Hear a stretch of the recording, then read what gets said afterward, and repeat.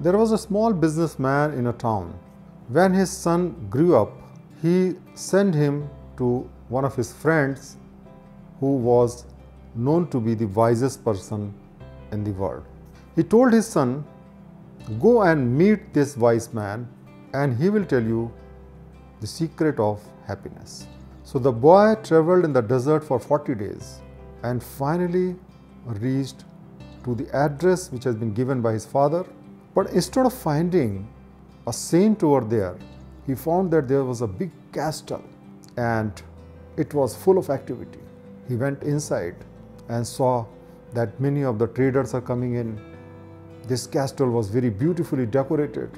There was a table where all the tasty foods were also kept there. So that boy reached to that wise man and he has introduced himself and told that his father has sent him to find the secret of happiness. The man said, Look, you see that I have got some guests who are here.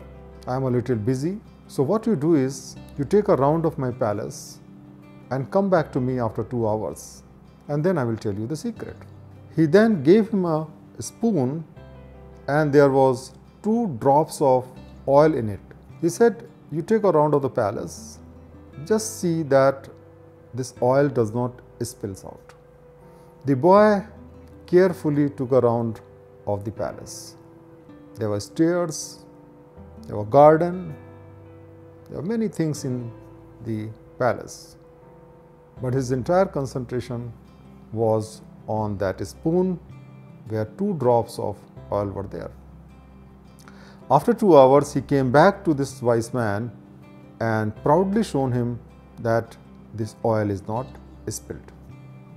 The wise man asked, Did you see my garden, which has taken some eight years to be developed? Did you see that beautiful painting which was there on the northern side of the castle?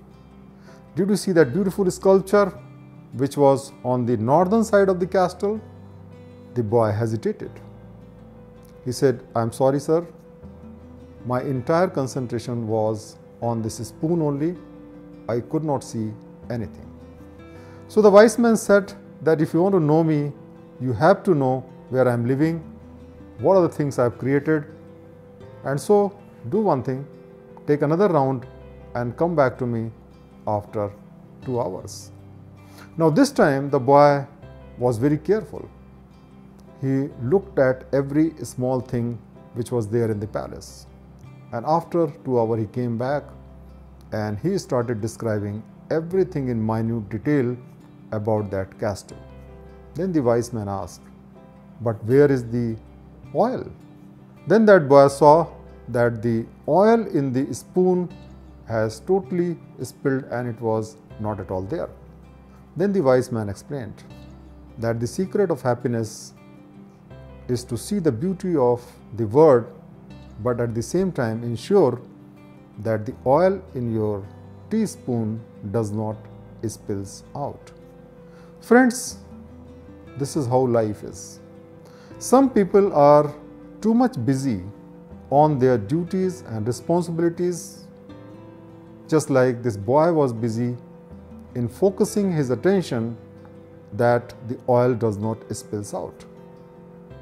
He considered that as a duty and he was unable to see the beauty of the world. On the other side, there are some people who are totally engrossed in the external beauty of the world and they are unable to carry out their responsibilities and duties and they spill out all the oil which is there in the teaspoon.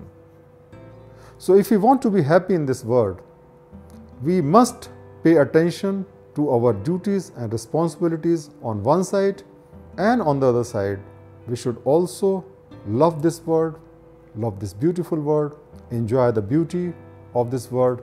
And when we are able to do both simultaneously in this life we can live a happy life